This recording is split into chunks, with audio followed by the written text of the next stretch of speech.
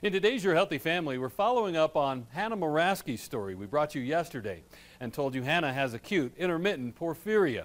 And for the last two years, to stave off painful blood attacks, she has infusion treatments twice a week at Memorial Hospital that last two and a half hours each. So it's affected my life pretty much on an everyday basis. I no longer really work anymore. I went from working 10 to 12 hour days, two jobs, to um, essentially only having one on call job that I'll work about once a month. Life essentially revolves around coming to the hospital. Um, any appointments, any activities I have to do, they're always directed around when I have to be here at the hospital. Unfortunately, that means stuff like traveling. Through a partnership between UC Health and a virtual reality company called Rendever, Hannah and other infusion patients can pass their time virtually traveling to new places.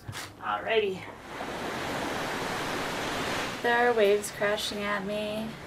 I look around, I see some sand next to me.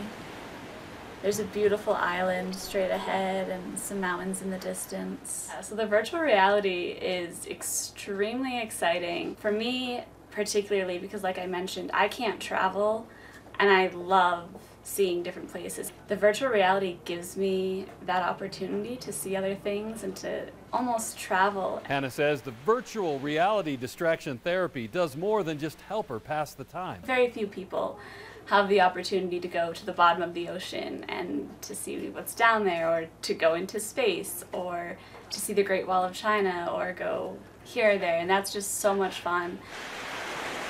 Sometimes the lands get really close and it almost feels like you can just stick your feet out and put them in the water. Overall, the hospital says the response to this type of distraction therapy from providers and patients has been overwhelmingly positive.